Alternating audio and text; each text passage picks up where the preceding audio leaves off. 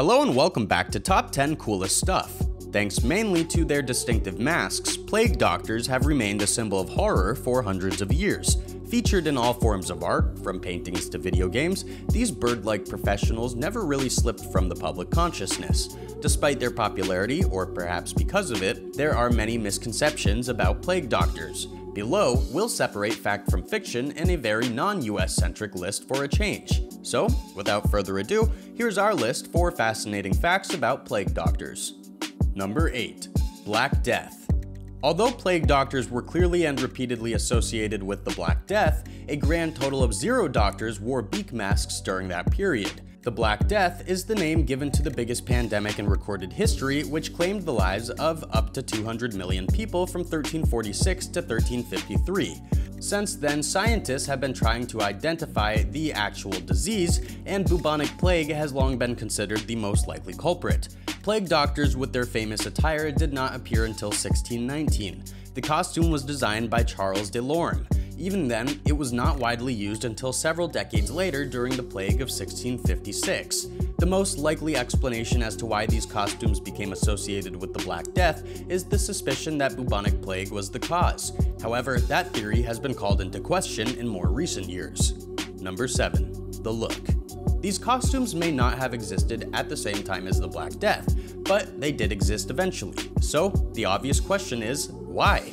Basically, this was humanity's first attempt at the hazmat suit. The full-length coat was made of wax and leather, which was designed to be impermeable.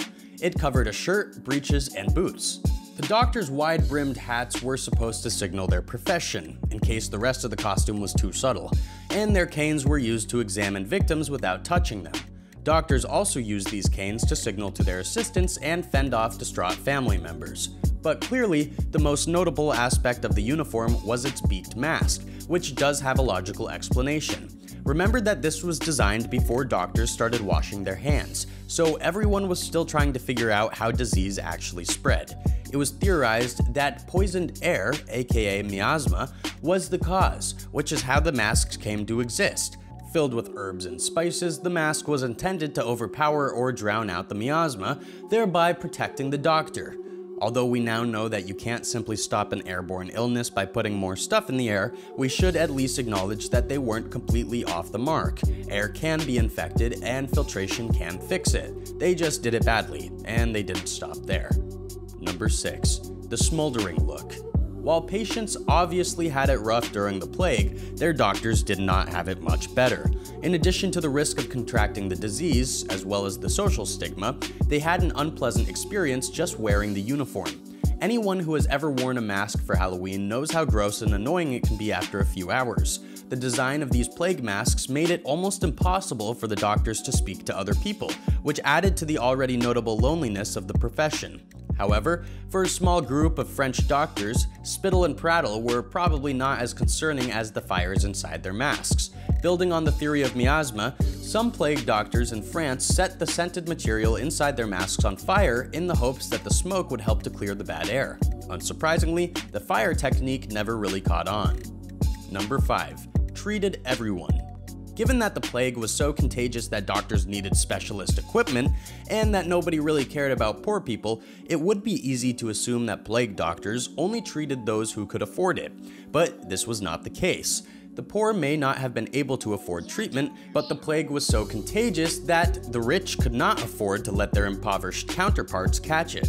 For this reason, plague doctors were hired and paid by town councils to treat everyone in the hopes of completely eradicating the disease village by village. However, that did not stop the doctors from charging patients, too. Although the position paid well, it was generally taken by three types of people new doctors, those who struggled in private practice, or volunteers who were not trained but were willing to give it a go. In many cases, the towns provided additional benefits such as a free home, payment of expenses, and a pension.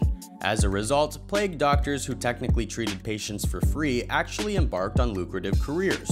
Of course, modern doctors make a lot of money too. Number 4. Treatment options. The plague doctor community was composed mostly of rejected doctors and non-doctors at a time when even the best medical practitioners knew diddly squat. As a result, many of the treatments were, well, awful. The infected poor morphed into lab rats as plague doctors became increasingly frustrated and creative with their treatments. However, none of those therapies helped in the end. Bloodletting, deliberately bleeding a vein to decrease bad blood, was always a popular choice. Eating things like applesauce, mustard, or mint sauce was believed to help as well. So could filling the house with aromas. Alternatively, you could take some food items such as onion, herbs, pigeon, or snake, chop them up and rub them on the patient. Sometimes, arsenic and mercury were fed to infected individuals. Mercury was also used to coat the patients before boiling them in the oven, although this was usually a last resort, whether it was intended to be or not. Additionally, there was always the option of smothering patients in their own feces or dropping them in the sewer overnight if they could not produce enough of their own waste. Number 3. Data collection. Everybody knows that data talks in the modern age. Whether you're trying to sway the outcome of a political campaign or halt the spread of a virus, data is essential if you are going to win. Apparently, governments of the 17th century also realized the importance of data because its collection was a major part of being a plague doctor. You can imagine the kind of data they collected suspected cases, confirmed cases, fatalities, cured patients, and more. This allowed plague doctors to start ruling out ineffective treatments, although they never really zeroed in on therapies that worked. It was unusual for the time, but they also performed autopsies to learn more about the effects of this condition on the human body. As they were often with patients in their final moments, plague doctors were also required to record wills and testify in court if needed. Of course, plague doctors were amateurs when compared to data collectors in today's world. Number 2. Pariahs. In societies across the world, doctors have almost always been held in high regard. Among the most well-educated members of society, they can alleviate your suffering and save the lives of your loved ones.